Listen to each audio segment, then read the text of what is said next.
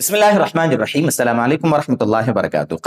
दोस्तों, बुजुर्गो, जैसा कि मसला आप हजरात को मालूम है कि मर्द के लिए बगैर किसी उज्र के घर पे नमाज़ पढ़ लेना या दुकान पे नमाज़ पढ़ लेना, कहीं पर भी नमाज़ पढ़ लेना, ये अच्छी बात नहीं है, बल्कि मर्द को चाहिए कि मस्जिद में जाकर जमात के अहतमाम के साथ पाँचों वक्त की नमाज़ अदा करे।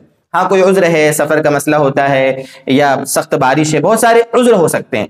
तकरीबन 20 के करीब उज्र, उलमा ने ज़िक्र किए हदीस की रोशनी में कि अगर वो उज्र पाए जाए तो जमात इंसान छोड़ सकता है और उसको बगैर जमात के भी जमात का सवाब मिलेगा, लेकिन बशर्ते कि वो उज्र हो। वो मुस्तकिल एक टॉपिक है कभी इंशाल्लाह उस पर भी वीडियो रिकॉर्ड करेंगे कि कौन से ऐसे उज्र हो सकते हैं जिनकी वजह से हम जमात छोड़ सकते हैं। लेकिन अगर कोई उज्र नहीं है मेरे दोस्तों तो जमात से नमाज़ पढ़ना, मस्जिद में जाकर ये बहुत फजीलत की चीज़ है, बहुत सवाब की चीज़ है बड़ी बड़ी इसकी फजीलतें हैं। घर में नमाज़ पढ़ना, एक नमाज़ का सवाब मिलेगा, लेकिन मस्जिद में जमात से जाकर नमाज़ पढ़ने का उसी का सवाब सत्ताईस गुना ज़्यादा हो जाता है। बाज रिवायों में पच्चीस गुना ज़्यादा हो जाता है। सोचो कितना सवाब मिल रहा है। इसलिए कोशिश करें जमात से नमाज़ पढ़े। लेकिन कभी क्या होता है कि हम किसी काम में थे ऐसे उलझे हुए कि जमात छूट गई। हमने देखा घड़ी कि जमात का वक्त निकल गया, या मस्जिद गए जाके देखा जमात निकल गई। अब क्या करें? तो अब उलमा ने मसला लिखा है कि अगर ये शख्स चाहे तो अपने घर पे आकर अपनी बीवी को जमात से नमाज़ पढ़ा सकता है।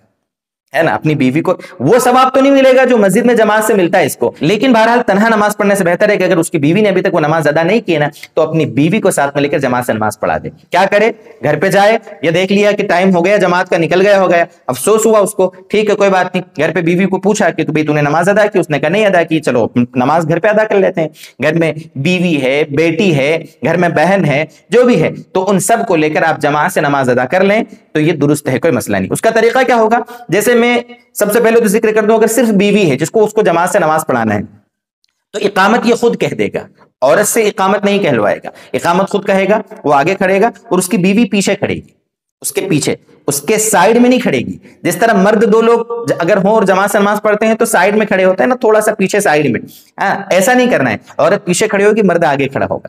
इकामत भी मर्द कहेगा मर्द नमाज़ पढ़ाएगा इस तरीके से नमाज़ हो जाएगी ठीक है? और अगर मान लो दो या तीन औरतें हैं तो वो औरतें पीछे खड़ी होंगी सबके सब, ज़ाहिर सी बात है, और मर्द आगे खड़े होकर उनको नमाज़ पढ़ा देगा। तो इस तरीके से जमात से नमाज़ पढ़ना अपने घर की औरतों को, है ना, ये दुरुस्त है, इसमें कोई मसला नहीं है, बल्कि इंशाल्लाह जमात का सवाब मिलेगा। अब यहाँ बहुत से लोग पूछ रहे होंगे कि अगर मर्द से तिलावत करने में कोई गलती हो गई, मसलन मगरिब की ऐशा की नमाज़ थी तो लुकमा का औरत लुकमा नहीं देगी। ये मर्द ने अगर इतनी तिलावत कर ली है, जिसमें नमाज़ हो जाती है तो वो रुकू कर देगा। औरत लुकमा नहीं देगी, औरत की आवाज़ को भी छुपा कर रखना चाहिए ना। औरत की आवाज़ भी बिला वजह के दूसरे सुने, ये अच्छी बात नहीं है। खैर, ये औरत को, यानी अपनी बीवी को, या घर की जो खातन है, उनको जमात से नमाज़ पढ़ा दे तो उसका क्या मसला है? उसको आज आपके सामने ज़िक्र कर दिया। अल्लाह ताला हमारी नमाजों को कबूल करे और नेक अमाल की मौत तक अल्लाह हमें तोफीक देता रहे। वसलम वरहमल वर्का